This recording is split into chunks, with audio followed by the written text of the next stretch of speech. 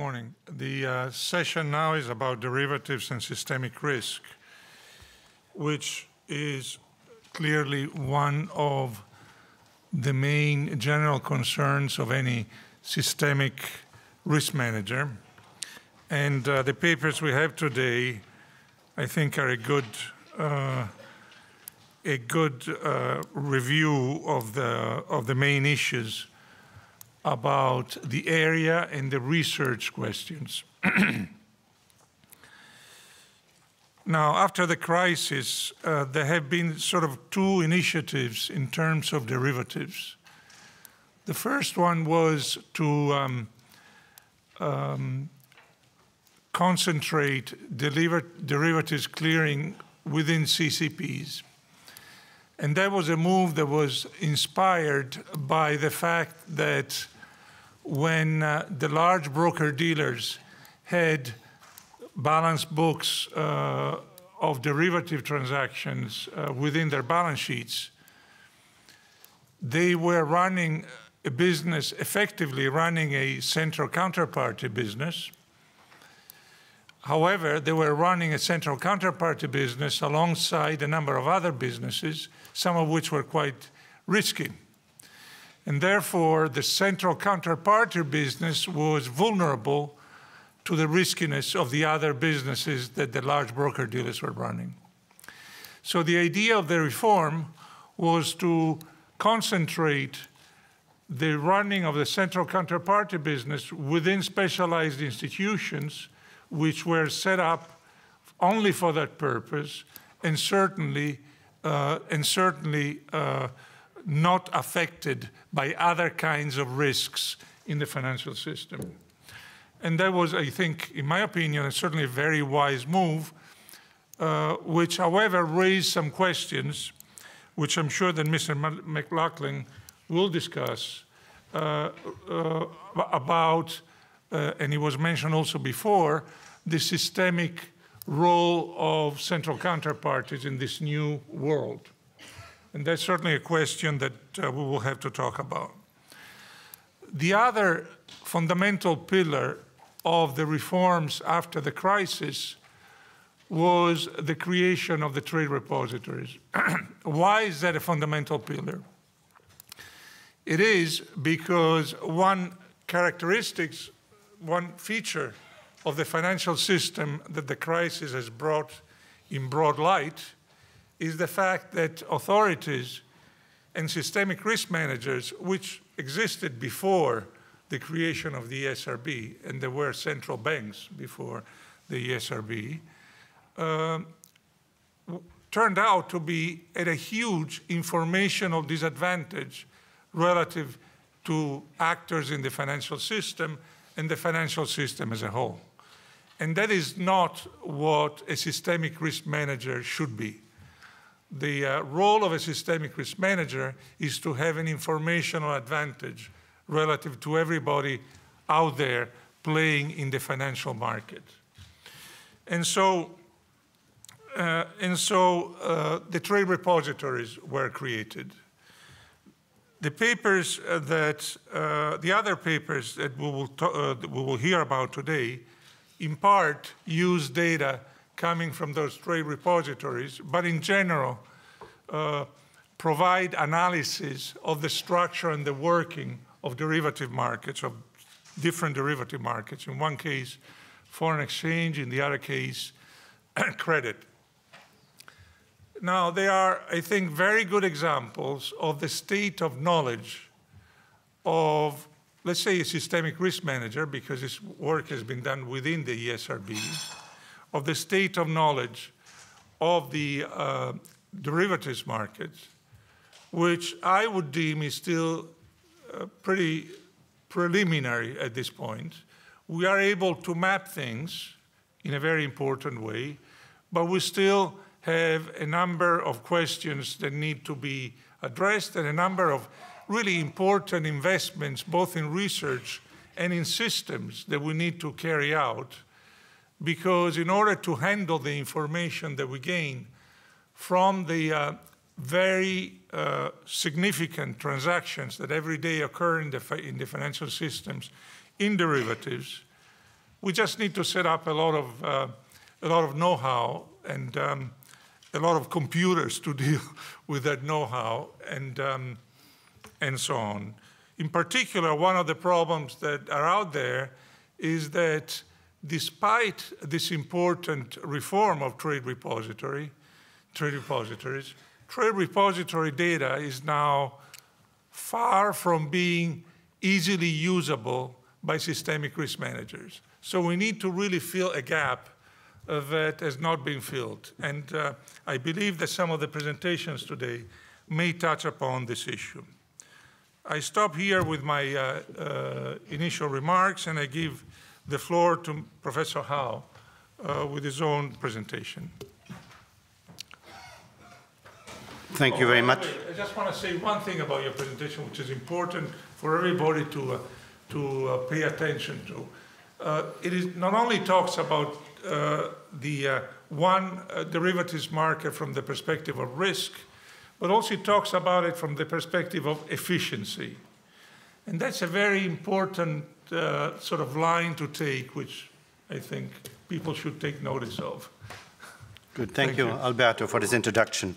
So the title is Stop or Go, the Reform Agenda in OTC Derivative Markets. And my role will be to uh, speak about what the new data that EMIR and European uh, regulation provides us and what light this new data can shed on the reform agenda in uh, derivative markets.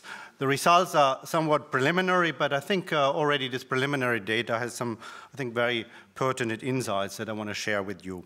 The work is uh, joined with Peter Hoffmann and Sam Langfield, and the two of them have really done a tremendous and terrific work on, on making this data accessible, which is no small task given the amount and complexity of the issue. So uh, let me harp back with a little reminder of where this reform agenda in derivative markets came from. It's certainly true that derivative markets were not the origin of the 2008-2009 uh, crisis. That was structured products. But at the same time, it's fair to say that derivative markets played a very important role in the transmission of the crisis. Um, people talk a lot about the Lehman disaster in uh, September 2008, but the real elephant in the room was AIG. And if AIG hadn't been saved, uh, the derivative exposure of virtually all the big banks would have brought them down. We would have had to nationalize every single uh, large uh, bank uh, in the global financial system. And AIG kind of um, preempted this. And, and, in a way, the AIG um, nationalization was forced upon by uh, derivative exposure. So it's a very, it's the elephant in the room. It's a very important uh, issue, derivative reform, if you talk about systematic risk. Um, so the commitment was taken in Pittsburgh in 2009 to actually uh, progress on um, derivative reforms in three different dimensions. The first is the trade reporting that uh, Alberto mentioned, that the authorities should be put in a position where they can actually make informed database judgments on, on the systematic risk that emanates from the derivative market. The second was the clearing uh, mandate, to move a large proportion of the clearable trades to uh, clearing houses. And the third is to change the market structure uh, so that these derivative uh, contracts could be traded more efficiently and would be then cheaper also to resolve and to aid with the uh, too big to fail problem and the resolvability of, of institutions. Uh, and maybe to make also the market more efficient. Um, so where we are in this reform agenda of uh, Pittsburgh uh, seven years later, well, the results are very, very mixed, as you can see from this traffic light. Uh, we can distinguish reform in interest derivative, credit derivatives, FX derivatives. Uh, we can put on the three different domains, the reporting uh, obligations. Uh, there we have made the biggest progress.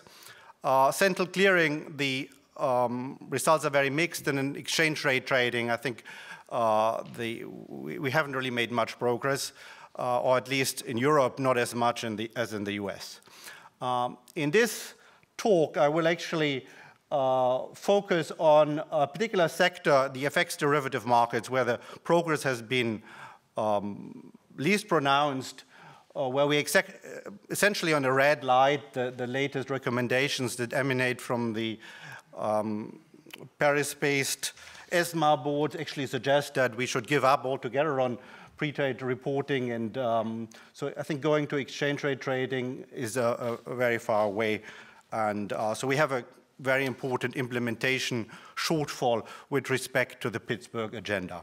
And so my question is now, based on this new EMIR data, so we do in, in fact have the reporting, now what does this new data, what light can we shed on uh, the costs, the economic costs of this implementation shortfall? And here we can distinguish between two types of costs. The first cost is uh, continuing to running with the current OTC market structures, their costs to this. There's some people that pay considerably more. Uh, we might have higher costs to risk management. Uh, these are costs that are borne possibly by the real economy.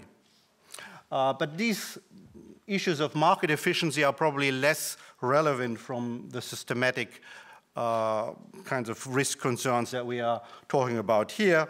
Uh, and um, so there's a second dimension to the question of implementation shortfall. What does the implementation shortfall really mean for how we think about systemic risk?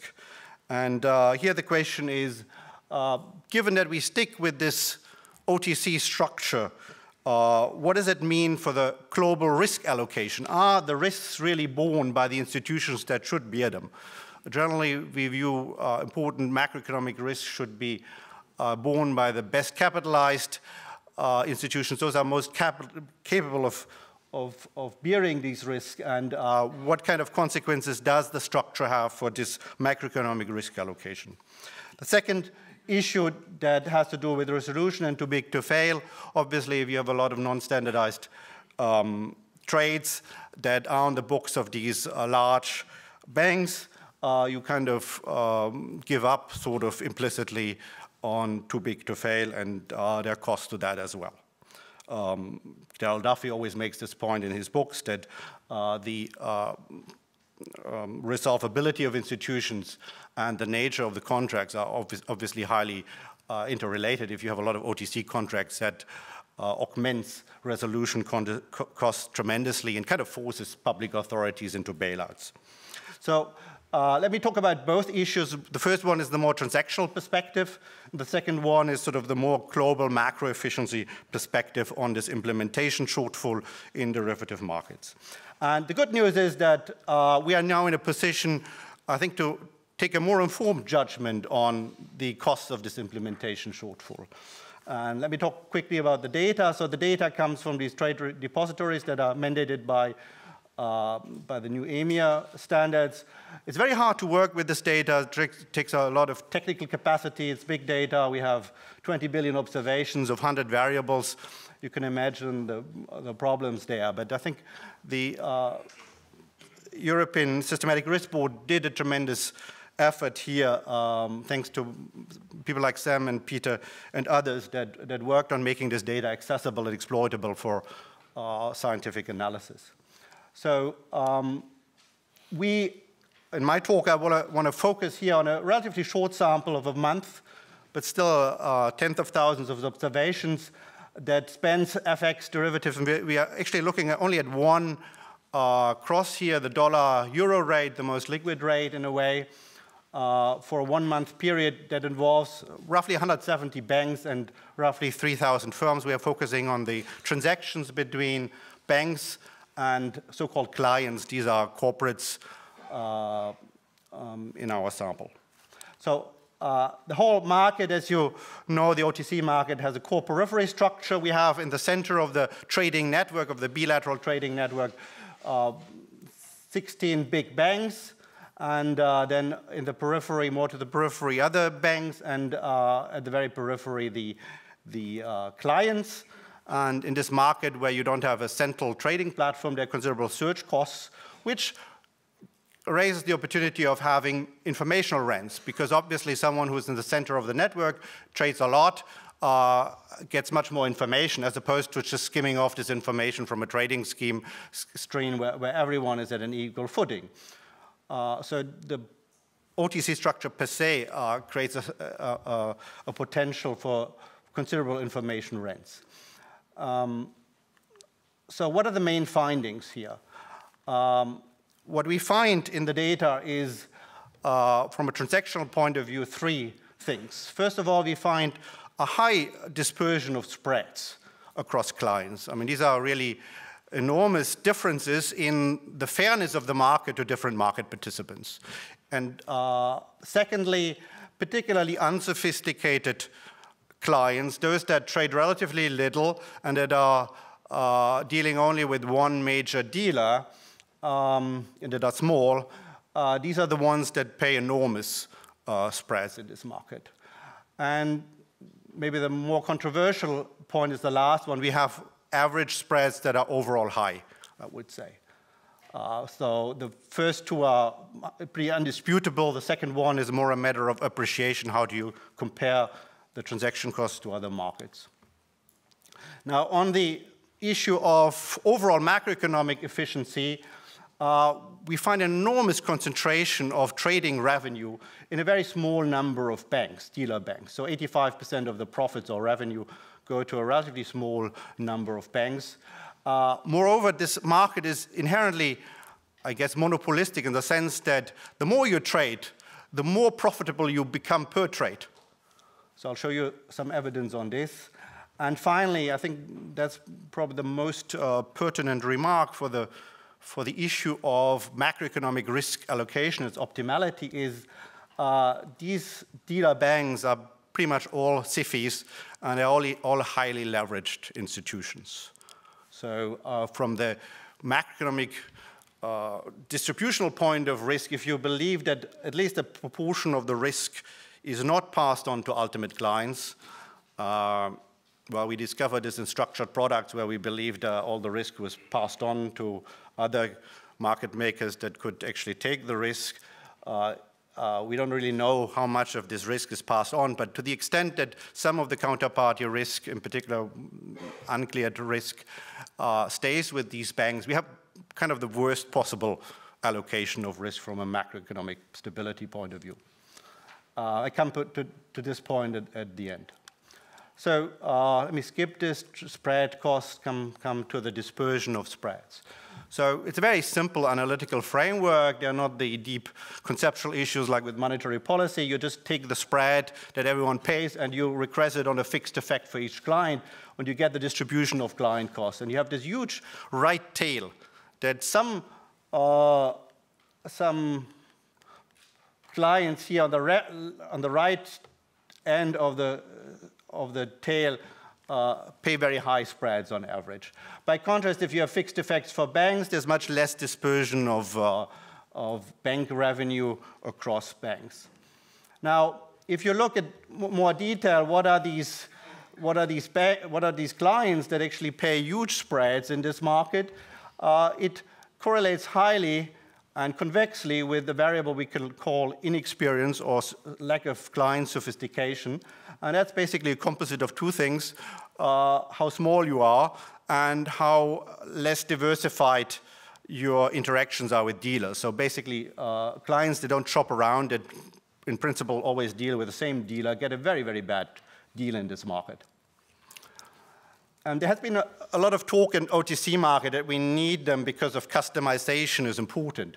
If customization is important, we would expect it to be particularly important for clients that have a low credit rating, because if you are already a fragile corporate, then, uh, then tailoring your derivative to your particular maturity that you need matters a lot. But surprisingly, we see none of it. We don't see that client risk is an important determinant of transaction costs, which is very surprising given this tailoring argument. Uh, tailoring, I mean, in the maturity dimension. And we can probably do a lot more to discard this argument of tailoring, which we haven't done yet, but um, but a client risk not being related to trading costs is a very worrying uh, um, issue and sort of uh, makes you think whether there's any substance to the tailoring argument uh, whatsoever in this market. Um, now, coming to client sophistication, we can do quantile regression. We can show more precisely how uh, trading cost actually increases with your size, namely inversely, the smaller you are, the the bigger you, the more you pay, and the concentration of your counterparty. So the more you deal with one uh, counterparty with a single um, dealer, the more you pay. Of course, that's endogenous. It's sort of indicative of, of trading costs, but those of search costs, those that have high search costs, uh, they get very disadvantaged in this market. Now, let me come to the third issue of the transactional aspect. How, how big are the overall costs to this? Uh, that's a bit a, a, more touchy issue. It depends a little bit how you normalize trading costs. If you uh, take the average spread of maybe 25 basis points here in this market, how does this compare to other markets? Let's say the equity market where spreads in absolute terms are maybe similar or somewhat smaller. Well, if you think that the notional that is actually transferred is only 5% of uh, the total value transferred, you would conclude that this market is by a factor of 25 bigger, the trading cost 25 times bigger than in equity trading. Well, that might not be the right normalization. If you want to normalize with carry risk, for example, still you get relatively excessive costs.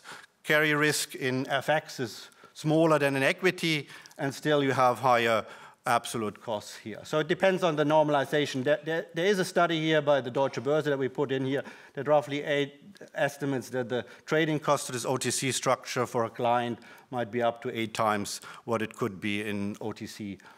I don't want to push the factor of eight or any particular factor, but I think the academic research shows that moving to OTC structures uh, can substantially decrease uh, trading costs. Already, uh, pre-trade transparencies does a lot. We have this experience from the municipal bond market and the experience in corporate bonds where, um, where um, trace and other pre-trade transparency mechanisms led to a substantial decrease in spreads.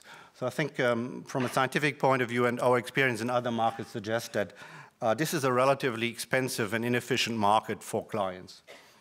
Now, um, the total, we can also calculate what's the total cost uh, of revenue that is generated here for the dealer banks. We come up with a 3.2 billion number. Uh, remind that this is sort of concentrated on export firms. So these are the ones that actually have to pay these costs. And uh, so it's kind of like a, a, substantial trade tax on those firms that have to hedge their, their risk.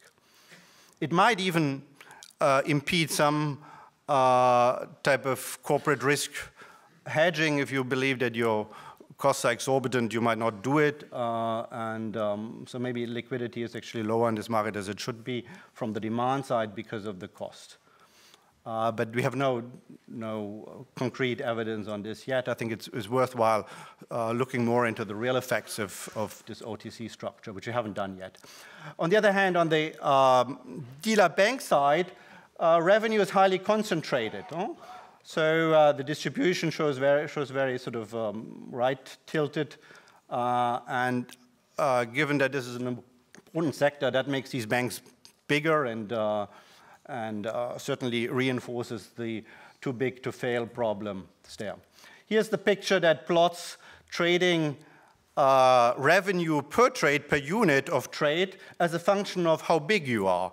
And you see a convex line here relative to the 45 degree line. So this market, the bigger you are, the more profitable you are in a way per unit of trading. Oh? So there's a natural kind of monopolistic, or oligopolistic structure to this market from an IO point of view. And we wouldn't believe that this market therefore would um, evolve towards less concentration no? because the economies of scale here. This is just the revenue side. There's also a cost side uh, which probably reinforces this further. If you're bigger, you might have cost savings, but already from the revenue side, you have to have economies of scale in this market. Um, okay, so uh, let me come to the last point of the issue of how do we look at this market from the systemic point of view? Uh, what is the vulnerability? I think uh, yesterday um, we, it was said we have to focus. I mean, Jon Cunliffe uh, emphasized this notion of resilience. Resilience is important. Do we have a resilient structure here? Well, uh, think about the overlap. Uh, we have here the, I think these are just 13 uh, global systematically important banks, uh, SIFIs, and they share 75% of the market share in this market. And uh, these are also the same institutions that have the highest leverage. So uh, I guess from a systemic point of view, we would say this is sort of the powder, powder keg of the financial system. So if one of these sort of is hit, uh, I think we have an explosion. It's like, like the Royal Navy in World War I going out to sea into the battle with the, with the door to the ammunition chamber open. And first hit, the whole thing blows up. So I think from a, from a distributional point of view, this is the worst possible risk allocation that we can have. Um, uh, one interesting question is, of course, uh, the issue of contestability. Why isn't it that other people come in and contest this market? And of course, given that you have such a high concentration of profit, this industry is probably also very organized in terms of lobbying and defending these rents. And um, I think there's also considerable coordination problems on the part of the buy side. Uh, these are a dispersed group of 3,000 corporate firms. Uh, they would have to coordinate to all come to the market to a new uh, exchange at the same point. So it has been tried apparently repeatedly by, the, by some exchanges to actually dislodge this market, but given the structure of it, it might be very hard without, I would call a, a regulatory nudge that you kind of um, uh, employ some force in, in, in, transferring this to a more efficient market structure. So, um, good. Um, uh, of course, the important issues that we don't really know, and that goes to the uh, presentation that will follow by Tuomas, we don't have a clear view yet, and this research doesn't do it, how much compression is going on there, how much transfer of the risk to ultimate institution that should carry these risks uh, is going on. And um, uh, so these questions are very fundamental for, uh, for uh, judging how explosive the situation actually is. Okay, that's a bit outside the scope of what we did so far. So let me uh, come to a conclusion here. What does this uh, new EMIR data tell us about this market? Well, it's a very costly market. It's a costly market for the expert sector, in particular for unsophisticated firms. So I guess from an efficiency transactional point of view, there's a point to be made here for reforming this market. I think so far, most of the academic research that has been done on similar reforms, OTC market reform in municipal bonds and bond markets show that there are substantial cost reductions available here for um, client. It's also clear that it entrenches too big to fail um, by preventing non-banks from entering. Uh, in equity, for example, a lot, a lot of the intermediation is done by the retail sector today. Huh? I mean, if you look at equities, uh, that's a very stable and very uh, reliable source of liquidity, which doesn't play a role at, at all. And if we would transfer the OTC structure into an exchange rate structure, that's what we would get. We would get a lot of other participants into the market and uh, so get at a very much better risk distribution of the, uh, among intermediaries uh, this way. Okay, finally, as I said, we, we have a very undesirable macroeconomic allocation here of risks in the, in the very institutions that are least capable of, of taking over this risk. I think that's pretty much what I wanted to say. Uh, so, huh? last picture, yeah. So I think there's also, I mean, the question then comes, of course, why didn't why, why did we switch to red light here? I mean, that's a very good, maybe someone from ESMA or the European Commission can answer this question. Why did they stop derivative reform in, in this market, which is such an obvious candidate for moving to exchange rate market? That's a very good question, and I think something that the systematic risk board should probably take up. And uh, I can only speculate since I'm not very familiar with the, with the particular process uh, there. I, I would however, stress that it poses an important credibility issue. I think if we plow the, the big fruits here from derivative reform and the substantial improvement of systemic stability that we, we get out of this by not doing this, I think we have a considerable loss of credibility know? uh, if we stay with STO. So in a way, my, my um, talk here is also a plea for reconsidering uh, the ESMA and Commission decision on, on putting uh, a red light on derivative reform here, because otherwise we face a tremendous cost of credibility here, and that's captured by this cartoon. Let me finish here. Thanks. The, um, it seems to me that the natural quest, uh, answer to your question about the FX market is that, you know, FX forwards are not very different from an FX spot market. It's just that a settlement is delayed. And people will say that the FX market has been working like this, OTC, for decades, more than decades, very well. So this is the, this, the standard industry response. But of course, you're raising important questions that need to be uh, thought about. Now, in terms of uh, the concentration, again, it's a fact of life of derivatives dealership that these markets are always concentrated. And again, it's an interesting regularity.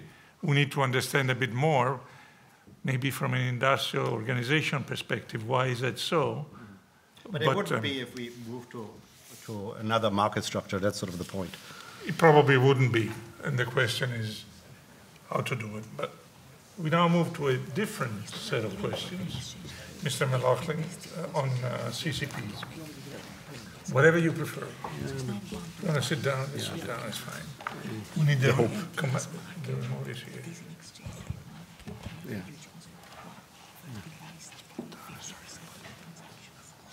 Yeah. yeah. Right. But is there some hope there?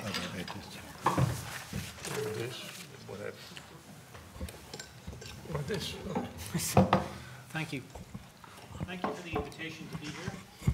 Um, I'm going to try and talk a little bit about probably we're the biggest culprit in the um, in the debate. Um, LCH is probably the, uh, the biggest global derivative CCP out there right now. And just a few uh, statistics. Um, we have about 90% of the interest rate swaps market, which uncompressed is over $500 trillion in-house. Uh, compressed, it's in the low 200s. Um, and obviously, the business keeps coming in. Um, we are also in the repo market. In Europe, we have about two thirds of cleared repos. Um, we are also in the FX market, FX forwards, non deliverable forwards, although that is not um, mandated as yet to be cleared. Uh, we're also in the uh, CDS market. We have probably about 20% and growing in that market. And then we're in, they were all pure derivatives, if you view repo as a derivative. Um, we are also in um, the more traditional physically settled markets linked to exchanges like equities and commodities and um, bonds, yeah. Uh, interest rate, um, futures, things like that. So we have a mix of mostly derivatives, I would say, but also the more traditional physically settled products. And just a few words before I launch into the evolution of the markets. But um, traditionally, the CCP is there to act as a shock absorber against the impact of a member default. So we, um, in the CCP, we collect margin to ensure that once a defaulted member, once a member defaults, we can step in, we have enough margin to ensure that the VM obligations to the non-defaulted members are met. Then we take the defaulted member's portfolio, we actually uh, assume ownership of that portfolio, and we close out that portfolio in the market. If it's a traditional exchange traded uh, instrument. We use brokers to access the liquidity on the exchange. If it's a more um, derivatives like uh, position, we have to auction that off and use the membership to spread out the positions in that auction. Or we can go to people outside the membership, which tend to be large banks, to more buy side institutions to try and, and move those portfolios. The process follows a very, very strict protocol that's pre-agreed with the members up front. This is what we're going to do. This is the steps we're going to take. Um, the oversight of that is obviously the CCP is looking at it, but also um, members um, give up uh, traders to sit on a, what's called the default management group to, um, to uh, help administer the um, closing out of the defaulted portfolio. And so this is the theory anyway. It serves to limit the potential contagion in the default event. That's how a CCP traditionally works. That's how we've traditionally worked. Um, and I will talk a little bit more about what needs to happen now because that's, I would say, under strain right now from various things that are happening. Um, the key systemic risk tools that we use to try and, um, as I said, the numbers are quite staggering. Um, so we have to be quite um, careful about, uh, first of all, who do we let into the CCP as a member, an active member. Um, we have to have very sharp minimum credit standards. So, for example, we do not allow subprime members to join the CCP. You cannot join the CCP if you're a subprime equivalent. Um, that's not universal, but that's our standard because it's hard to justify the contagion of the CCP pool, if you like, the mutualized pot with a sub subprime member. Obviously, there's the Cover 2 standard, which puts a floor, if you like, on the kind of financial resources we must hold to ensure that um, there's enough financial resources to withstand the instantaneous default of the largest two members. Um, but if you think about the trading mandates, uh, the clearing mandates that have come into place, it's quite hard to manage the concentration risk. Um, the, all we can do, because we can't say no, they have to clear, uh, all we can do is continue to charge more and more financial resources, exponentially increasing the financial resources until such a time as the trading, if we feel it's too big, it's starting to be discouraged. Um, so that's really difficult to do. Um, we have a process for doing it, and the way we do it is we, um, we demand a fairness principle that no one member can take up more than half of the default fund, because that's the mutualized pot, so one member should not overuse that, if you like, or take advantage of the other members. And the extent to which they do go over that 50%, we charge additional margin to bring that total resources required for the default uh, to cover the default of the largest person, the share of the mutual. Or to everybody? Each individual member um, is required to stay below that uh, limit, if you like, of 50% of the default fund. The other uh, thing we have to look very carefully at is procyclicality, which I know is a huge issue for systemic risk management. Here we have our own standard, which um, we felt that the ESMA constraints, the ESMA standards were not strong enough. Uh, and what we've done is we've looked at um, the credit cycle, so to speak, probably going back 10 years. And we have a standard in place that demands that if we were to evolve the past into the future over the next uh, 10 or so years, there should not be any one day. The model should be built so there would be, there would be no one day in that future where the margins for a member would jump more than 25% in the um, over the holding period. Um, that's a very interesting standard, and we have uh, we run our models to that standard. The only exceptions that we've noticed in that standard are due to central bank or government actions, which is a very interesting finding from our perspective where the source of systemic risk comes from. Okay, the last part is on actual default management we are, of course are managing to a cover two standard. What happens, what's the safeguard, if you like, or what's the fire escape if more than two people default? Well, then we have assessment powers built into our rule books um, where we can actually call a number of new assessments from members if we need those resources. Um, we have variation margin gains haircutting tools and we have, and I put partial in, in brackets here, contract tear ups. The full partial contract tear up is a very, very difficult issue for us because we would love to be able to, in derivatives markets anyway, it's unclear exactly how you objectively upfront specify the trades that you would tear up. It's very, very difficult. especially in a, a, derivatives market where you have so many trades offsetting so many others, um, it's very hard to identify exactly those trades you would tear up. That's much easier to do in more traditional physically settled markets where the culprit is very easy to identify. Now, the, one of the big topics right now for discussion um, is the, these powers have obviously systemic consequences. Tearing up a member is, has all sorts of knock-on effects or could have knock-on effects. And therefore, we have to be very, very careful about exactly under what circumstances we do this.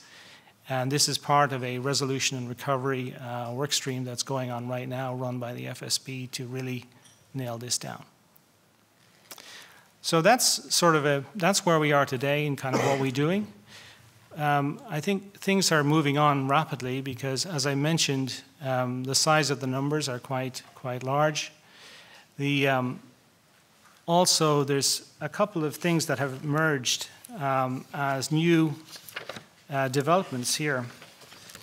Uh, the first one is um, the capacity of banks to provide clearing, or of members to provide clearing services outside banks is declining.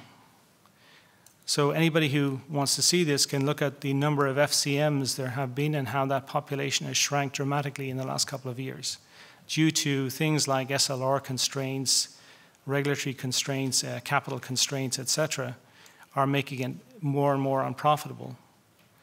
And that means that um, uh, third-party users are outside the core banking sector.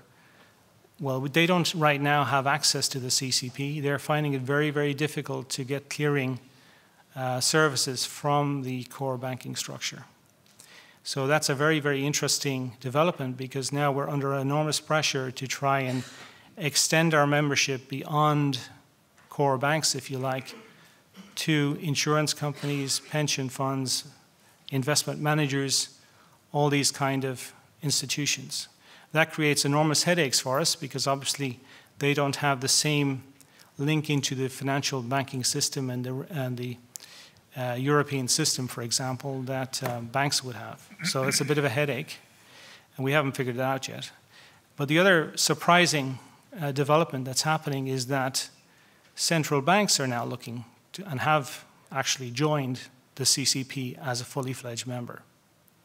Now, if you think of the implications of that, a central bank could be borrowing enormous sums of money or lending enormous sums of money.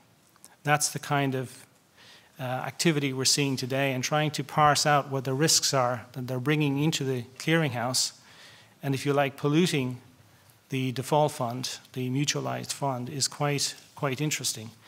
Um, some of them, um, huge debate about whether they should be paying uh, into that mutualized fund or not. So this is not easy. um, probably the biggest challenge I think that I face in the CCP is and this was unseen at the time, uh, obviously, that uh, in, in Pittsburgh, when this was all put into place, what exactly would actually grow up at the end state when you've done all this and then you see what has grown up? Well, I think we're the poster child for what's grown up, and so we begin to see constraints that we had no idea that were out there. And the one I really feel for is the, um, it creates enormous problems for me is the the fact that we have to take margins off, off our members, obviously, because that's how we, how we protect ourselves.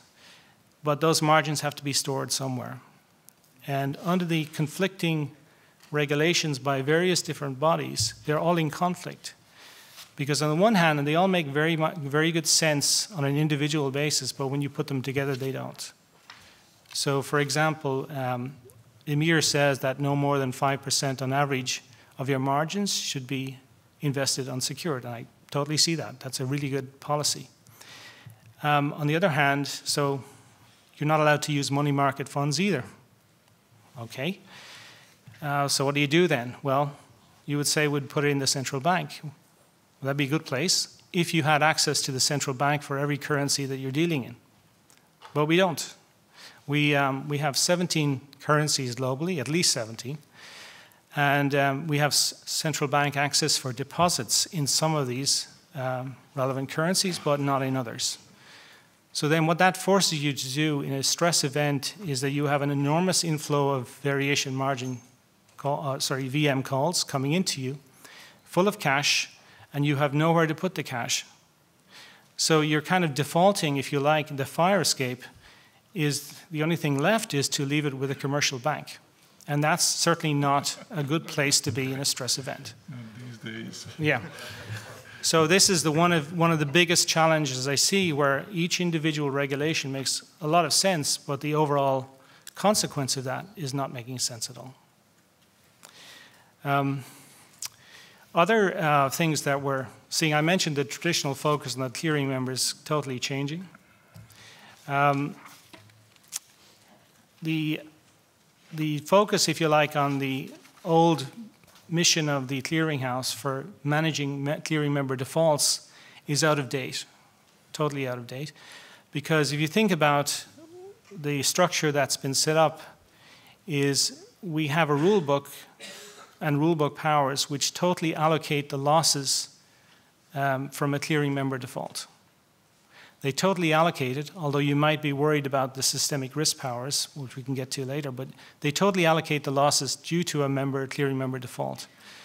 But there can be other losses, many, many other losses, and there's a paper that I wrote on this a couple of um, months or so ago that came out, um, which there are probably eight or nine categories of losses, of which this is one. And for the other categories of losses, it's not so clear what you would do because Many of them cannot be allocated back to members, in which case the only thing you can try and do is absorb the um, through the CCP capital, absorb the losses that way. So each one of those losses have to be addressed individually, and um, new, if you like, rules put in place for how you would actually either allocate it back to the members or absorb it or deal with it through some kind of new rule book power. And there are many examples, and uh, this is an ongoing debate, probably the biggest debate right now going on in um, the resolution and recovery work stream for the FSB. One consequence of this is that these losses that cannot be covered by member margins in traditional rule books, um, they tend to, a lot of them tend to arise in operational risk kind of events. And hence the operational risk discipline, which was only a few a paragraph or so in EMIR is greatly expanded now. We've had to work very, very hard to find out, well, what are all the kind of things that can happen, the operational risk events that can happen in a CCP, and what controls do we have in place? That's a very big issue for us. The other really big issue is that the key CCP relationships in the financial ecosystem are not well understood. I just gave you an example of the interaction with the repo markets very, very good sense to control the repo markets from one, one aspect, shadow banks, etc. But it's a very unintended consequence of giving the CCP a, a, difficulty in actually storing the margins in a safe manner. So you have two conflicting uh, things going on there. Um, as I said, we have interactions with central banks which are becoming very, very complex, to say the least, and were not envisioned uh, at the time, the Pittsburgh Summit. Um, there are other people looking to join as well. There's a whole list of them. Um, obviously, hedge funds are at one extreme, central banks are at another, but there's a whole spectrum in between. Um, I would say that the other interesting thing about central banks is that when, when an action takes place, for example, quantitative easing, announcement of quantitative easing, that has an enormous impact on the CCP because momentarily we're unbalanced. Our margins suddenly are completely off. And so if a member was to default at exactly that time, we would not have enough margins. So there's, there's interesting, if you like, and, and central bankers are becoming aware of this, obviously, but um, I would say uh, more slowly rather than more quickly. Um, and I would just say one more thing is that the, there's a huge difference between um, asking for a deposit account at a central bank for the reasons I laid out versus asking for a repo facility at a central bank, and that's not always understood. In the public mind, it's been equated with a bailout, even if you just need the deposit facility. And that's, there's absolutely no credit risk to the CCP there, and there's a very good reason for asking for that. And then the CCP recovery and resolution, just to um, bring it to an end. The, some of the big open issues are who is the resolution authority for a CCP? I only found out just before Christmas that in the US it was the FDIC. That was a surprise to a lot of people. Well, it was a surprise. There was a room full of um, banks and CCPs. We were shocked because they hadn't been in the discussion up until that point. And the other, the other one is um, what is the relationship to the CCP regulator? Because um, in some cases they're the same. The regulator and the resolution authority are the same. In other cases, they're not. The yeah, not in the US. And um, the thing about that is the concern across when you cross borders internationally, it's quite a, it's quite a, uh, a problem because we, we are systemically important in many, many countries. Well, at least five.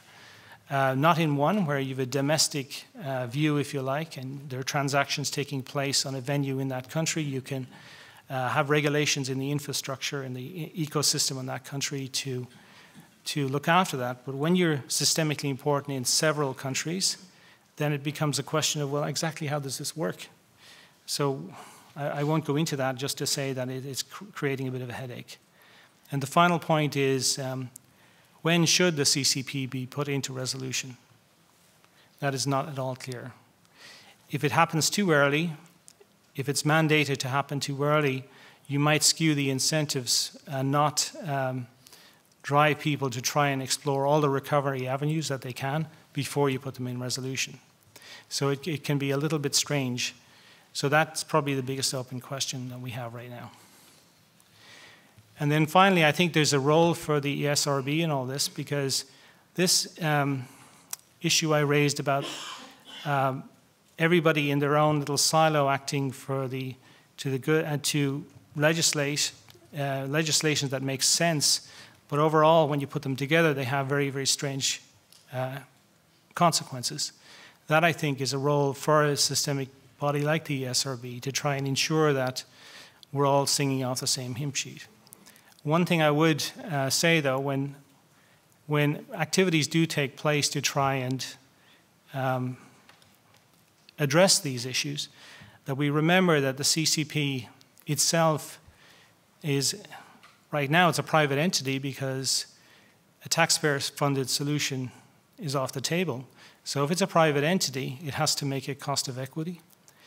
And it's not a bottomless pit. So more and more drives to increase capital will de degrade that uh, return on equity, and eventually private sector funding won't flow into the CCP unless the cost of clearing increases dramatically.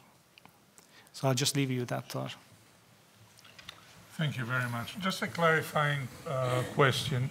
You mentioned uh, an increased reluctance of uh, banks to perform the clearing member role vis-a-vis -vis clients, mm -hmm. but isn't there an issue, a concern on their part of, of being disintermediated if you allow direct access by um, other actors to the CCP. Is, have you not observed that? Absolutely right. Yeah, and there obviously banks have to defend that, um, the role of intermediary.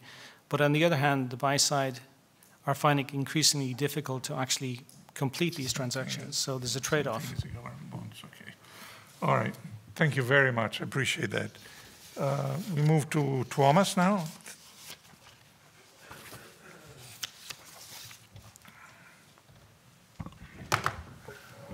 Okay, ladies and gentlemen, I'm Tuomas Peltonen, the Deputy Head of the ESRB Secretariat. I'm very delighted to speak to this uh, distinguished audience. Um, let me talk about uh, our ongoing work on analyzing credit derivatives markets, the flow of risk, notional excess, and portfolio compression. Let me thank here my colleagues, particularly Marco D'Errico, Tariq Rogni Ornia, and Sam Langfield, who have helped me to, to prepare this presentation. And finally, um, uh, as a disclaimer, I'm talking here about my own views and not necessarily those of the, of the ESRB and its member institutions. We already heard some, some facts about the role of the global financial crisis of revealing the, the size and opacity of the OTC derivatives markets and also the G20 reforms, the Pittsburgh Summit, uh, that basically aimed at reforming the OTC derivatives markets, making them safer and more transparent. What we learned also that uh, we have uh, very large notional amounts uh, in place. Uh, depending on the on the different statistics you use, you get a bit uh, different numbers. But here we use the BIS 2015 numbers. That the uh, interest rate derivatives are roughly 384 trillion, the CDS 12, and so forth. What we also know is that there is quite some heterogeneity, and in some derivative cases, also complexity of the instruments. But the key, key point that Harald also uh, already referred is that there is a very large fraction of intra-financial exposures. So uh, there has been considerable efforts at the EU to increase transparency and order in, in the derivatives markets. The EMIR regulation is a founding uh, building block in, in this respect. And uh, here at the ESRB, what we have tried to do is to exploit the, the, the uh, enhanced reporting of derivatives transactions to the trade repositories. So the EMIR requires all EU counterparties to report their derivative exposures to the trade repositories. We have a double uh, reporting, and we include all derivatives, so also the uh, exchange-traded derivatives are, are reported. And what our work at the ESRB Secretariat has been focused on is to basically develop uh, a credible uh, data infrastructure, uh, also to work with our colleagues at the European Commission and ESMA to contribute to improve the data quality, and then uh, conduct policy relevant analysis. So Harald was uh, showcasing you one, one ongoing work, and I'm, I'm doing uh, a showcase for, for a couple of others. Uh, by doing uh, uh, this work, what we have done basically, we have looked at the sky and got trying to get some motivation for, for the work. So I'm showing you here the NASA uh, dark matter map of the galaxy cluster Abell. And why this is relevant, uh, it actually uh, has quite some many um, connections to the, to the derivatives markets. First of all, as Harald was mentioning, uh, the EMIR data is expanding every business day. So it's like space, which is sort of expanding uh, in, its, uh, in its way. According the, the, to one theory. according to one theory, exactly. but I think it's a mainstream theory for, for this respect.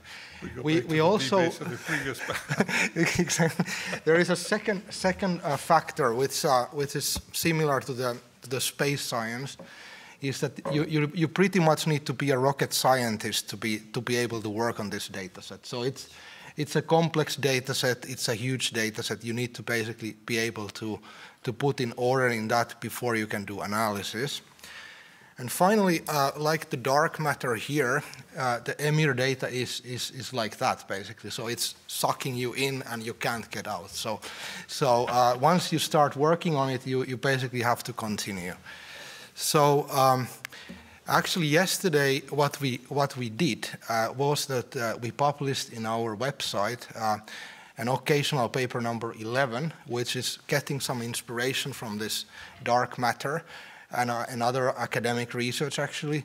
Uh, uh, and it's titled Shedding Light on Dark uh, Markets. And this, this work uh, actually is our first uh, publication regarding the, the, the, works of regarding EMIR data. It focuses on three market segments of derivatives at the interest rate markets, credit derivatives, and FX derivatives. And we already can conclude from, from that work that um, the EMIR data, despite of all, all the debate, can already provide uh, useful insights. Clearly, uh, there are data quality issues that should be addressed and, and can be improved, but already now we can already uh, get some useful insights for the policy. What uh, also Harald referred to, we, we have observed that there is indeed a very high level of intra-financial exposures especially the intra-dealer exposure, the G16 dealer exposures that were referred. Moreover, what we have also observed in the EMIR data, and, and, and it's highlighted here in the occasional paper, that the market structure uh, and the network of trades and exposures is already reflecting these uh, key regulatory and other changes so the central clearing obligations and compression and so forth. So I, I recommend all you to, to go and, and look this paper. Today I will focus on, on the two concepts, the flow of risk. So I will, I will explain you the, the concept, which is basically the method uh, uh, to track transfer of risks. Uh, I will show you uh, one, one chart of um, what we have done using this methodology to uh, map the global CDS network using a global uh, DTCC data. And I will also show you some uh, examples of ongoing analysis using the EMIR data, so the European part of the derivatives markets, on uh, geography of risk flows, as well as potential ways to look, for instance, wrong way risk. The second concept relates to the portfolio compression. I will explain you what is it all about. It's basically a post-trade technique aiming at reducing the gross notional uh, amounts, which are very large, as, as we know, while keeping the notional uh, exposures unchanged. And then uh, opening basically some uh, further research for, for impl these implications of the portfolio compression. So just to give you a quick overview of the uh, uh, OTC uh, credit derivatives markets, and here focusing on the single name CDSs. And this is basically an excerpt from the occasional paper, a table using data as of November 2015.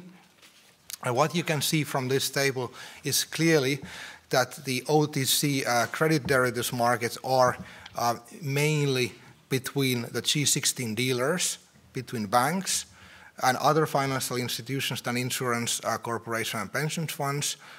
But what is also interesting here to look is that the role of non-financial firms in hedging basically credit exposures seems to be relatively small in this total amounts of trades.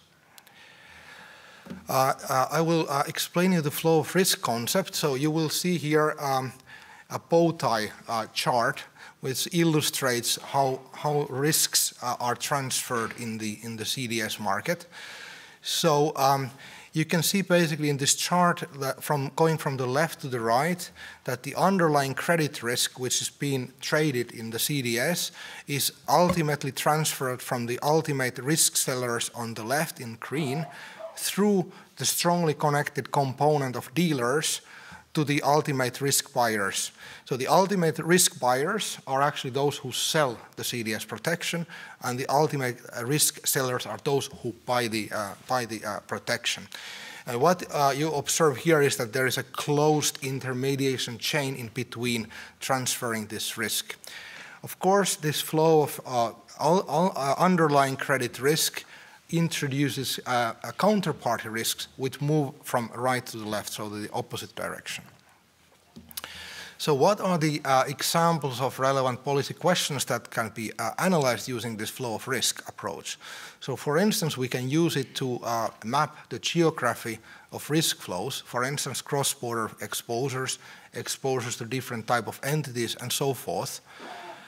We can also, uh, when combining the EMIR data with other data sources, we, we can try to also make, uh, to understand actually why these uh, derivative exposures are used. So why, why uh, certain counterparties enter into this, whether it's hedging, gaining uh, synthetic exposures or so forth.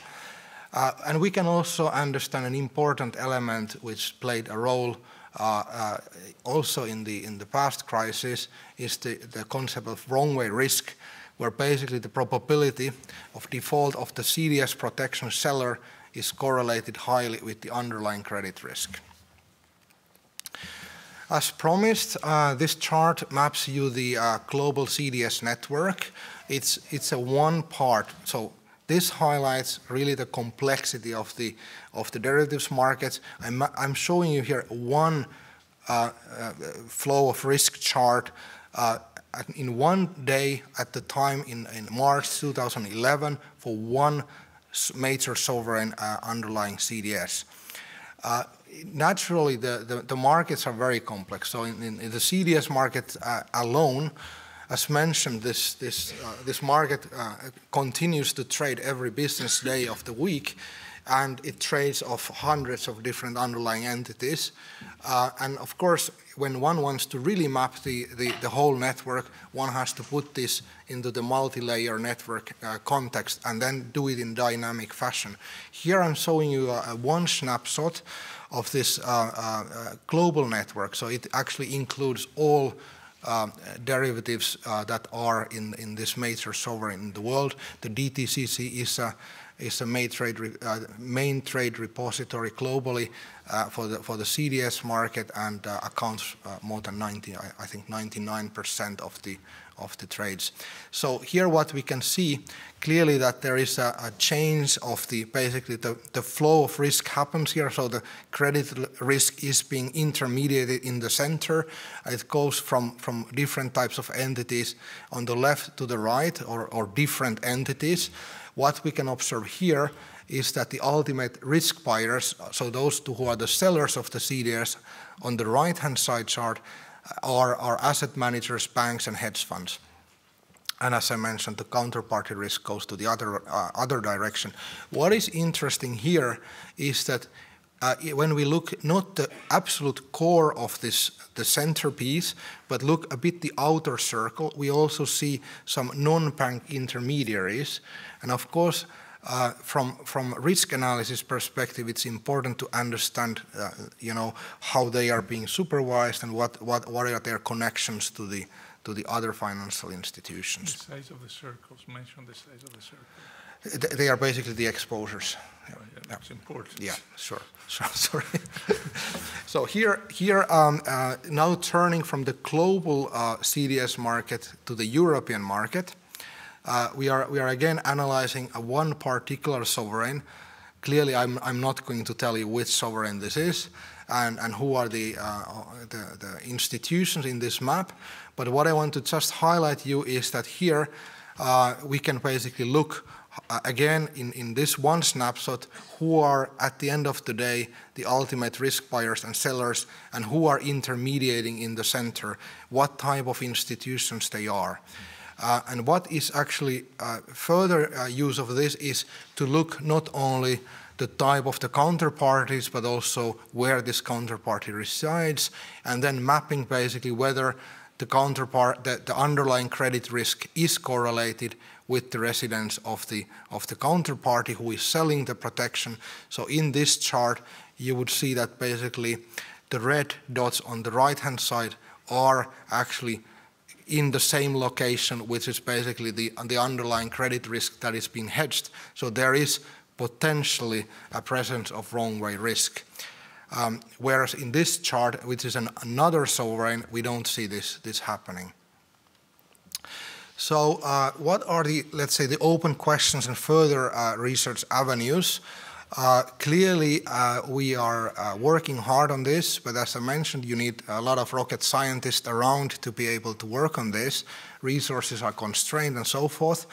But what we are really trying to do is to uh, map basically the portfolio and counterparty overlaps of, of, different market participants between different types of derivatives and underlying entities. So this is one important factor for risk monitoring then understanding the dynamics of this network and develop different monitoring tools such that Francesco and I basically can just open the, the, the tool and, and, see, okay, how the risk is going. So I know that uh, Alberto likes to use the word of risk uh, manager.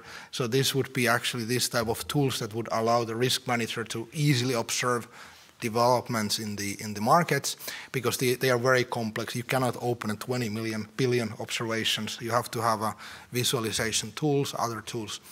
We also want to understand uh, the role of the CCPs and, and how the network structure is changing because of the central clearing, understanding also the motives of, of different uh, entities using the, the markets, mapping this with other data sources, and then one very important factor still to be analyzed further is actually the economic role. It was a bit referred in Harald's uh, presentation of these very large intra-financial positions. And also if, if um, uh, issue which is very pertinent and important is the collateral flows and the reuse of, of collateral. Um, turning to the second topic of, of the talk here, um, uh, which relates to portfolio compression, you will see basically the uh, paragraph from the MIFID regulation explaining this, what, what basically is portfolio compression. But just to uh, summarize it in a nutshell, it's a, it's a post-trade operation that reduces the gross amount uh, in, in, the market basically without affecting the, the market participants' net uh, positions. This uh, portfolio compression is actually a significant issue. Um, multiple uh, derivatives are being compressed, interest rate uh, swaps, cleared and uncleared, CDSs, single names, uh, and index products, also FX, commodity swaps, inflation swaps, all kinds of derivatives. According to TriOptima, which is one large uh, uh, private entity providing multilateral uh, portfolio compression, reports that they have compressed 840 trillion of OTC derivatives the notional has been eliminated in these trade compressions until 2016. I actually don't know when, when this statistic starts. According to ISDA, uh, 214 trillion has, was eliminated between uh, 2007 and 2012. So we are talking about very big numbers that are being, and also Dennis was, was referring to this. There are many reasons why uh, uh, this portfolio compression takes place. One clear uh, motivation is actually that this is a required by uh, Article 14 of the Commission Delegated Regulation 149 2013, which basically says that uh, you need to have a valid explanation to the relevant competent authority uh, for concluding that portfolio compression exercise is not appropriate. So you are encouraged by the, by the regulation to do so. There are also private sector or, or individual incentives to do that. As, uh, as, clearly you can reduce counterparty risk, operational risk, management of, of all kinds of uh, uh collaterals, settlements, and so forth. And, but there is also important factor which is related to the incentives to shrink the balance sheet for regulatory requirements. The bilateral compression can take place between two mutual agreements between two counterparties, and the multilateral compression is, is basically done through an external service provider. Okay. The portfolio compression, just to, to show you what is it all about, you see the two charts here.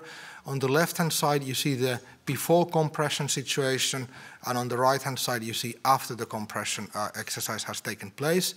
The key here in this multilateral compression is that this basically happens in this closed intermediation chain. Uh, the bilateral uh, compression can take place also uh, beyond of this A, B, and C. It could also happen between C and D, for instance. But here, in, when you, we are looking now the multilateral compression, and there you, you basically uh, you're required to, to, to look this intermediation chain.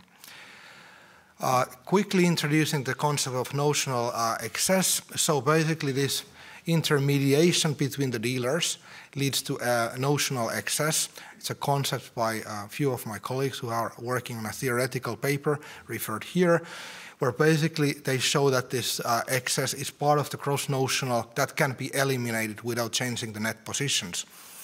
So at the end of the day, the compression uh, is a network operation that reconfigures the web of outstanding trades uh, so that basically there is a lower excess in the market. So uh, the work by uh, uh Marco D'Errico and Tarik Roukny basically identify different classes of compression.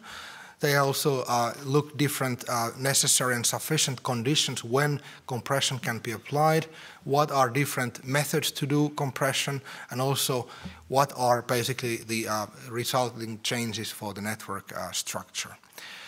Uh, just very briefly uh, give you some um, some uh, example how, how we can basically look this uh, compression using EMIR data. So depending basically the level we aggregate uh, trades uh, and the algorithm that you, you use to, to do compression, we find that roughly 20 to 50% of single name CDS notional can be reduced. naturally, if you uh, include broader set of uh, of reference entities that you sort of, for instance, uh, a little bit different timings of the of the uh, uh of the notionals when they expire, you can enhance this uh, this uh, level of notional that can be reduced. Key point here is that again the ultimate risk sellers and buyers on the left and right are, are not affected, while as the the compression is focusing on the excess between the dealers. So in these charts, we show basically that the notional excess, so the amount that can be basically in theory reduced, was, was reduced with certain algorithm and certain assumptions uh, uh, by 24%. Uh, so one can clearly, clearly reduce this, this here. So what are the implications? Um, uh, clearly, uh, the, the, the, numbers mentioned earlier show that compression is significant and is reshaping to together with the central clearing the OTC derivatives at the moment. Uh, generally, uh, we are very, on, very much under-researched in this, this area of, uh, of importance. So again, I would encourage people to, to really focus on, on their efforts of of, of this topic, which is um, indeed quite important. Um, and one factor which is also clear to us when looking the EMIR data, it's actually not trivial to identify in the current EMIR trading, uh, trade reporting framework the history of portfolio compression. The private entities that are making the, uh, the portfolio compression are keeping track of the trades and they have the, the, the data. But using the public reporting, it's not very easy to construct basically the, the history of compression. So what are the implications? Um, uh, overall, um, the gross reduction of notional amounts uh, is, is positive and it may reduce opacity in the time of stress. So the G20 objectives are being uh, addressed uh, here. Uh, there is also clear positive impact on the reduction of the payments due at the times of stress and also the liquidity needed uh, when, when, when, when it's really uh, desired to have. So this, this is a positive factor. However, there are also some, some dimensions that, that would need to be further researched. And clearly one factor is what are the implications for the um, counterparty risk at times of stress because we are actually reducing the number of counterparties uh, as we are, we are changing this, uh, this uh, uh exposure structure. We are potentially concentrating more counterparty risk to, to certain, certain uh, parties. Uh, even potentially more important factor is that we have no yet results whether basically the compression can enhance or reduce network fragilities by altering the network structure. And this is very important to, to highlight that the, the compression that is taking place is between private entities who do not know the whole network of the, of the markets. Actually, uh, there are very few instances who know the global markets. I mentioned DTCC, for instance, has a data uh, globally, but uh, currently the regulators or the ESRB, for instance, is limited with its access to the European derivatives markets. The, the, the, the parties making portfolio compression have even more limited uh, information. They are relying on the information that the counterparties who want to make the compression provide to them. So basically the compression is done with, uh, in a local information and not globally, using global information. And this can have implications for, for from the network theory perspective. But would that increase in any, would there be any instance that it increases risk because they do not know the whole picture? So, so, so this is the question that I'm asking. So, so basically, when no. no, basically, when you are operating in a non-full set of information, you, you, you might end up in a, in a situation which is basically leading to that the network structure is actually less robust than when you would use global information set. So this is one factor which needs to be uh, analyzed more, more in depth. Finally, uh, uh, also things that needs to be looked at is the, basically the macro prudential dimension of, of, of, the, of the compression for capital and collateral. I mentioned there are um, private incentives to, to do compression. uh, for, for instance, to, to reduce um, the, the level of, of, the, of the balance sheet. So we need to understand basically more what could be these type of implications. One final fa uh, fact that I want to emphasize is that there is clearly uh, uh, important further need for uh, uh, regulators to have more transparency of the com portfolio compression methodologies. And also, as I mentioned, on the on the EMIR reporting so that the history of trades can be better con constructed. Thank you very much. Thank you, Tuomas. Very interesting. Uh, we, not much further ado, Professor Pelizzon, if you... Pointer. Pointer. Pointer.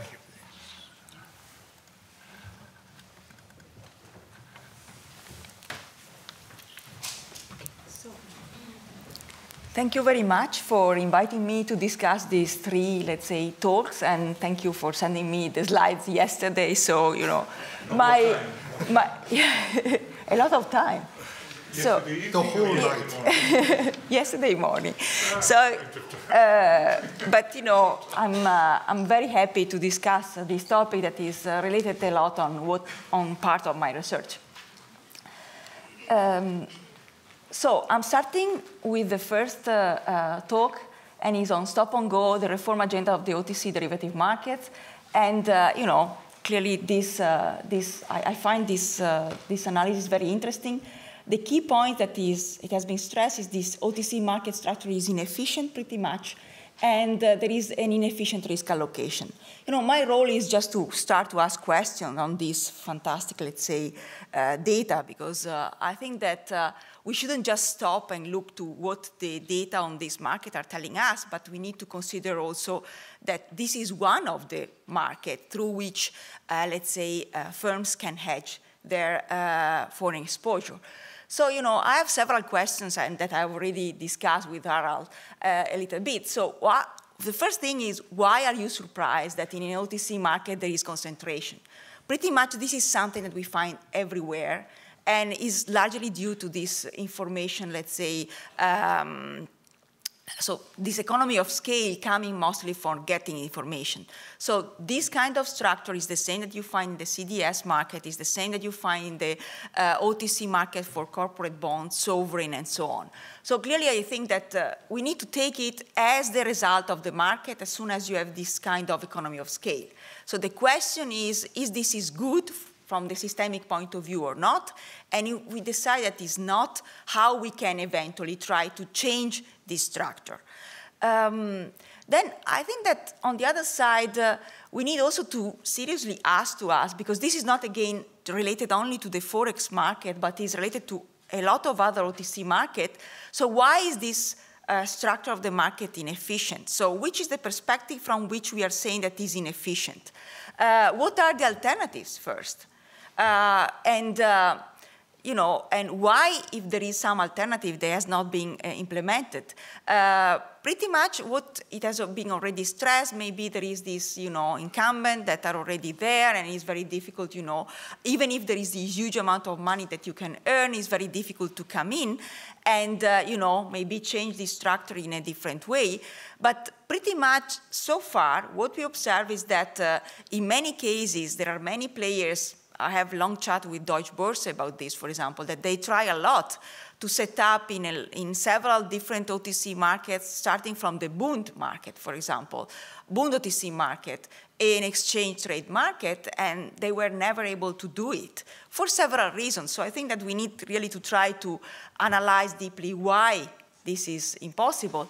And uh, on the other side, from the inefficient risk allocation, uh, well, I think that we need to be seriously um, conscious that if we are really preventing banks to be at the center of this OTC market, we need to figure out who will be the alternative. So they can be potentially hedge funds, insurances, pension funds.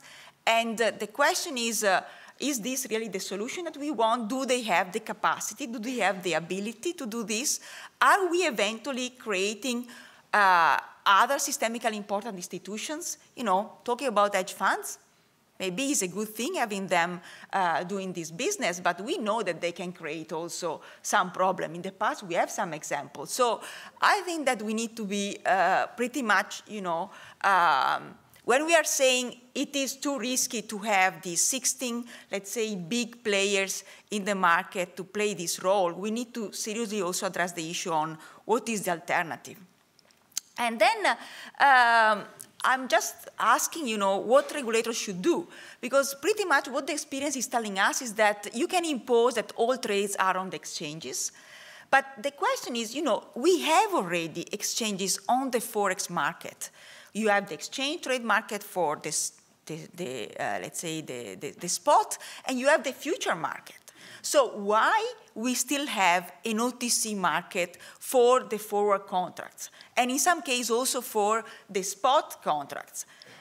Either people that are going to trade, these uh, firms that are trading in the uh, OTC market has no, have no access to the exchange trade market. So the question is maybe we are putting too much barriers on these exchange trade markets. Uh, because, you know, otherwise there is, it's not that we are talking about a market where there are no other possibility, like the corporate bond market. We're talking about a market where there are alternatives. So why these companies are not going to trade in the alternative markets. And they are the exchange rate. The, the only way that you can think to implement to make eventually this market more efficient. Uh, the other alternative that uh, I think regulators should also consider is uh, to have more transparency, as it has been done in the corporate bond market with TRACE. And uh, maybe this will be enough uh, the, this is clearly a question. I don't know if this is true or not, but clearly there are several steps that you can do for these uh, over-the-counter markets to improve their, let's say, efficiency. And one thing before to move directly to imposing an exchange trade market that maybe you are just killing this market is to think to have more transparency. And again, I'm, I'm asking how peculiar is really the Forex market? Because, you know, how different is this market microstructure with respect to the exchange Forex market? Maybe even there you have that you have these 16 large players, you know, that are the market makers of this market. So, you know, even in that case, you will have that they are also having all the rents coming from this market. Is this a big issue? Is this a problem? And, uh, uh, you know, again, how different is the distribution of the profit in the future exchange market with respect to this one? It would be nice to have data and to analyze this. And then how is costly, again, uh, to get access to the future Forex market? Because if it is the cost larger than the one paid on the spread for the uh, forward Forex market, well, maybe this is a good reason of not going in this other market seems so efficient. So as you see, I have several questions that I think that will be nice to start to address. Um, and then the other thing is that why technology, you know, uh, didn't reduce this kind of barriers or uh, is not really improving the inefficiency, both in terms of, uh, you know, having these uh, uh, large players playing this big role, and also in terms of, you know, of uh, uh, distributing better risk among the different players in the market. And do we really should care about client and experience? You know, it's not we are talking about householders that maybe they don't have a lot of, uh, you know, uh, experience that we should protect. They are companies. And, you know, uh, is this really so relevant for systemic risk that we are caring about these clients that have uh, inexperience? uh, you know, the Forex market is not such a complicated market. So why do you have these clients that are having this inexperience? Are they really an expert or maybe either they don't have alternatives or there is some, some other reason why at the end, you know, they're paying this large uh, uh, spread. Now I move to the second talk, that I think is very fascinating and uh, is related to uh, uh, CCP and clearinghouse. And uh, uh, to be honest, I'm largely working also on this uh, topic. I just pick up two things that I think are really, really important, even if I think all the points rise are uh, you know, well placed. And one is related to without access to the central bank in the relative currency, this result uh, in increased unsecured deposit at commercial banks during a stress event can be uh, you know, very dangerous. So I think that the big question that you need to ask about the access of this CCP or clearinghouse to the central bank is, uh, you know, what is their legal status? If, if you're looking around, even in Europe, but also around the world, all these different uh, central clearing have different legal status. The reason why in the US, FDIC is the uh, regulator of CCP and ICE pretty much and the other is because they are legally banks. If, you know, in some other states, this kind of, uh, let's say, institution are not banks, they are not, you know, subject to that kind of regulation, but to something else. So I think that the first question that we need really to ask about this institution is, what should be their optimal legal status? And then, you know, the second question is how they should be regulated and how they should be supervised. Because uh, as it has been already stressed, you know, these kind of institutions are subject to completely different, you know, uh, type of regulation from the micro side to the macro perspective. But really, you know, uh, if you are, for example, uh, consider a bank, you will be under the supervision of all the other banks. But on top of this, you have ESMA that is overlooking over you because clearly you are playing a big role in the market. So clearly, I think that we need really to seriously think on how to build up a serious regulation on uh, and supervision of this kind of legal uh, of these institutions. And then I, I would like just to stress another point. More than serious uniform, you mean? Sorry? More than serious uniform. Yes, exactly. Okay. And uh, uh in terms of CCP recovery and resolution, clearly this is also another important uh, problem, and there are the issue, you know, wh who is the resolution authority and when should be uh, this uh, resolution. Regarding to this, uh, I would like to stress that uh, uh, I just wrote a, a, white paper with Jan Krahnen on predatory margin in the regulation of supervision of central counterpart clearinghouse, and you know, we are really addressing exactly this point on top of the other issue about how to really regulate this uh, uh, central clearing and, and so on. And uh, you know, one of the things that uh, we stress in, the, in this paper is that in line with this robust but fragile property, because I think that really CCP reflect exactly this, uh, this, this uh, position, uh, a CCP triggers a systemic risk event with small but clearly possible probability. We cannot, whatever is the kind of requirement that you are asking, prevent this uh, possibility. And clearly in this case, you know, there is no other way that the government will rescue this. So the answer to the question who are going to pay, we know, will be, there will be a bailout. There is no other way. And uh, the, I, what we stress is that that is not pointed too much, is that uh, uh, we need also to figure out how is the optimal market structure of this CCP. You know, so far we have a strong competition that is going on among, at least in Europe, among 16 different central, uh, uh different CCP, and clearly we know that uh, when you're competing, there will be, of course, uh, the risk of undermargining by aggressive CCP in order to have the large fraction of the market. And this is clearly having an impact on the level of systemic risk that this kind of institution may eventually create. And then the second thing is also related to transparency how much transparent is their individual exposure.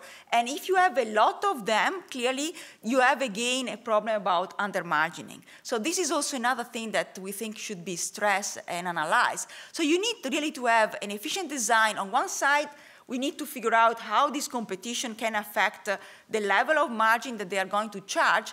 And then clearly, we need to have a proper regulation because if you are allowing them to compete, you need to, you need to regulate in order to have this under-margining effect. And clearly, the, the best solution is that uh, you should have a supervisory practice that uh, not as it is now, uh, mostly at the national level, that is, you know, just uh, uh, uh related to the, the, the where they are located. And clearly, these supervisory standards should be uniformly applied without regard to the local champions. So even at the national level, you shouldn't have big difference between the large and the small one. And then clearly in terms of the regulation and supervision, it should be centralized in one agency, you know, as there is also the hope that this happens in, uh, in, in, Europe, and you know, including all the national, let's say, economies in the CCP counterparty that are clearly do, do, domiciled, and uh, the set of countries that will clearly ultimately face the bailout should be clearly um, agree on this. And um, remember that if we are then agreeing that we have a single supervisor and we are maybe treating them as banks because they are getting access to the central bank, well, the bail-in rule that we have in Europe is not working for CCP. So we need to think to something else. Because clearly, you know, this total loss absorbing capacity for sure will be not enough. And uh, clearly this robust yet fragile nature will clearly, you know, uh, prevent the possibility of having a bail-in that will be enough and you need to have a bailout.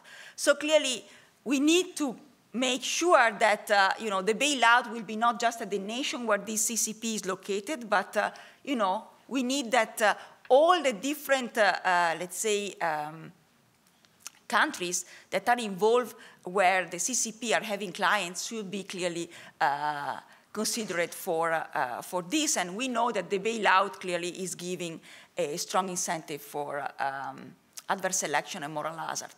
This is why we need to have a consolidated supervisor in Europe. Then I'm going to the last uh, topic that is analyzing credit derivative market, flow of risk, uh, notional excess, and portfolio compression. And, you know, the first thing is that clearly this is a very great, nice database. Every researcher would like to work with this data. And, uh, you know, my, uh, you know, few months ago, I was in the same room here at the, the statistical uh, conference, and I'm, I was stressing there, as I'm stressing now, that this data should be made available also, not only to the supervisor, but also to academicians, because, you know, the improvement and the kind of analysis that you can do with this data uh, will, you know, improve a lot our knowledge on how these markets are working and, and so on. Even if, you know, we know that there are some limit on the data that ESRB are, is having because, you know, it's just only if the reference entity is a European reference entity or one of the two traders is located in Europe, you have this data. So clearly it's very partial. And it's so surprising that we cannot get a global database about this kind of transaction. So the focus is on the flow of risk, uh, wrong way risk, and portfolio compression. And uh, uh, you know, regarding flow of risk, what they find is that CDS market is highly concentrated on few central dealers, nothing new, you know. And clearly, this is the same result that uh, uh, Getmansky, Girardi, and Lewis find, and they publish this in the Journal Alternative Investment using DTCC data on CDS transaction. Uh, well, you know, here as the one shown by um, Peltonen, Tuomas, uh, you can see that pretty much you have you know, these 10 big players that are at the center and you have the rest, uh, you know, just uh, uh buying and selling a, a small fraction. Uh, the other thing is that concentration of ultimate risk buyer are hedge funds and asset managers. So clearly I think that we need to also to ask, so what? It is okay, this is what we want, or this is something that we would like to, to avoid. Um, so clearly it would be nice also to have uh, a view from the systemic point of view uh, if this is really what we, uh, we want as a final result of this, uh, uh, of this, let's say, transfer of risk. The, um, the other thing is this wrong way risk. What they find is that pretty much they just show to us two cases, but it doesn't seem that there is this large wrong way risk for sovereign risk. But clearly the question is, what about financial references? I think that there is really where we have wrong way risk. And again, from the paper of uh, Getmansky, Girardi, and Lewis, what you get is this table, for example, where you can see that really, you know, there is a huge amount of wrong way risk uh, among the different these uh, 10 institutions. So pretty much one-fifth of, uh, uh, of the total amount is really, you know, uh, there. And uh, about portfolio compression, I think that is very interesting and important that we are thinking about portfolio compression, how to, you know, to eliminate or reduce this counterparty risk and so on. But clearly, if we're going on the direction of the having uh, contract, OTC contract clear, well, directly you will have uh, uh, this portfolio compression because you know this will be really what at the end the clearinghouse are doing. So uh, what they get is that you can really improve a lot the, uh, the level of, uh, uh, let's say, the amount of risk that the, it has been compressed by looking to the data that they have. But, you know, it will be pretty much the same or even less.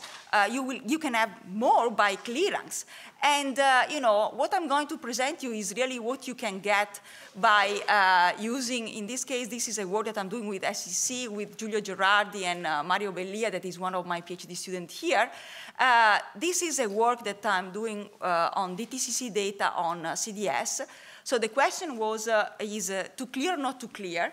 And unfortunately, I can show to you only one slide about this.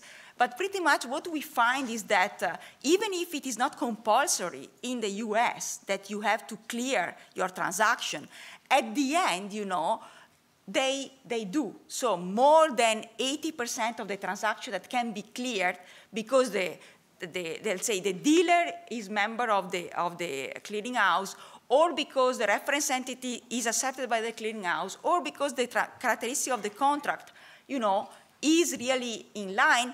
So this means that you don't even need to impose it as soon as you give the possibility, it seems that now the market is really, you know, reacting in a good shape. And the decision to clear balance the cost of the CCP margin against the additional capital requirement that clearly you will have uh, because you are not clearing. And we do find that, you know, really they, the, the, decision to clear do react to the incentive that the regulator are providing. So, you know, uh, you have that the ones that are clear are the safer and more liquid. They tend to flatter exposure with the CCP in order, so they clear only if really they have a, a reduction in the margin requirements. And usually, you know, you are clearing because the counterparty is more risky. But what is coming out is that pretty much less than half of the dealer-to-dealer -dealer CDS trade notional value qualify for clearing. So even if you will impose to clear, at the end you will have that only a small fraction of them can be clear because we have this issue about the non-standard contract. So the issue is either we need to try to accept more non-standard contract, and this is a question for uh, uh, LCH, how really to improve the amount of content that can be clear, and uh, you know, uh, because it seems really that uh, the market is already reacting on this direction. Thank you very much. Thank you. Now, I remind that we are already running out of time. It's going to be lunch. So every minute that we take now is taken away from lunch, right? Authors, please. Just a very brief. I don't want to comment the, the many interesting questions that Loriana posed, but just two remarks. First is uh, I happened to read Angus Deaton's Nobel Prize speech in Sweden last, I think, November it happened, and he made a very simple point that all good policy starts with good data or with better data. So I think what he said about development economics equally applies to financial economics. We have the unique chance here with the EMIR data to elevate, I think, the policy debate to a new level, and we should make as much use of it as possible and, and have a more informed policy debate on many of these regulatory issues. Secondly, and I think Loriana is very, very right on this, we have to make sure that we bring in as much human capital into this debate as possible, meaning a lot of uh, finance researcher that can very productively use this data. And so there must be some, found some way of broadening the participation in the research agenda here by giving access to data like the Bundesbank does, and I think that's also very, very important. Good. Yeah, just, just react to one. It's going to come. It will come. Okay, I'll just react to one uh, question about the, um, the level of margins and the, um, if you like, the motivation to lower margin, sort of a predatory margining regime between different CCPs. Uh, we had an example, big example, a few years ago where the obviously the interest rate environments have fallen. We've heard enough about that today. But the impact on CCPs was pretty dramatic because um, the old relative return way of calculating margins, the distribution of margins using relative returns, was giving uh, margins that were far too low. And um, many, many people in the market were just as upset about it as I was.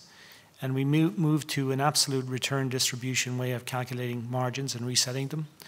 The consequences were that the margins on the SwapClear service, which is the big one that I was talking about, doubled.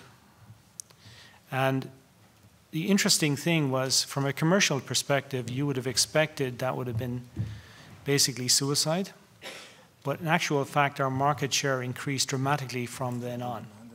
So the members were also just as concerned about the relative levels of margining between them as we were. So I think that effect shouldn't be missed. Okay.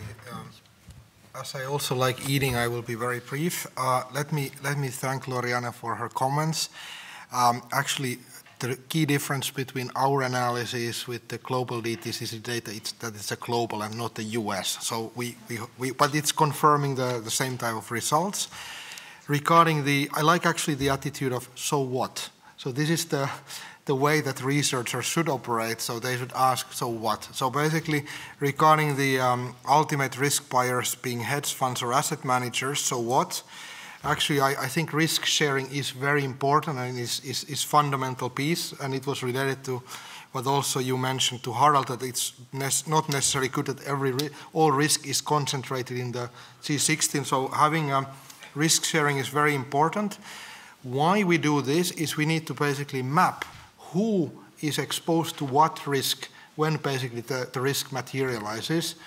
And uh, therefore, it's also important to know what are the entities exposed to this. Uh, and it's also important to know that these entities who are exposed to risk are prudentially supervised. So this is one important factor. The second point is that um, on the wrong way risk for banks, this is actually something that we are working on, clearly a very good uh, suggestion. Uh, and regarding the compression, as I mentioned, there is clearly positive aspects, less notional, less opacity, and so forth, less liquidity needed. However, we don't know yet all potential issues, and that's what I was raising. So we need to work more on potential risks rising from this as well. Thank you very much. Thank you. Um, we do not have time for, for questions from the audience, so if anybody has questions to the authors, you could approach them during the break, but unfortunately, we need to cut the time for that. I'm very sorry for this. We have a very dense uh, program, uh, which will continue in the afternoon. Uh, as to the location of the lunch, it is exactly in the same place where it was the dinner yesterday. For those who were not there, we have to go back to the entrance and then turn to the left. And then when you will arrive at the security doors, my colleagues will uh, help you to pass the security doors, you need the badge. And then we will have to go to the end front of the Grossmarkthalle.